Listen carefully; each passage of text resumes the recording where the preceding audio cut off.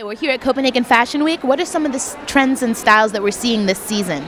Well, I mean, right now I just came from the Malene Birger show. It was her 10 years anniversary.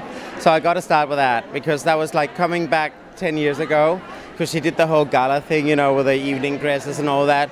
And this is so not Denmark, you know. This is just completely, uh, you know, uh, what we don't do. Normally we do democratic fashion, and that is still what we're seeing here.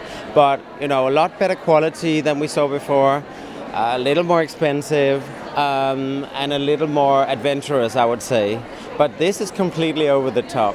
Uh, so this is more Paris than Copenhagen, I would say, or even more uh, with, a, with a bit of Las Vegas put in there as well, which I really enjoyed. I thought that was quite great. You know, when that when when when when that uh, very kind of exotic fashion comes into um, you know is mixed with uh, some of our traditions, which we know from you know uh, the way we make furniture, the way we make architecture. Then that just becomes really interesting. Um, I wish more designers would actually think like that. I love Malene Birger. Is that clear? yeah. totally clear. And then finally, what other shows are you looking forward to this season? Well, um, you know what? Actually, there's a show tomorrow that is called Designer's Nest.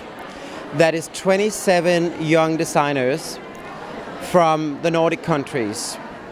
Uh, and they're showing together tomorrow. And I always go to that show because that is the new generation. Uh, and I always see amazing new talent there. And now that show's been going on for uh, some years, and I actually see these people that I saw in this show working in really interesting places around the world.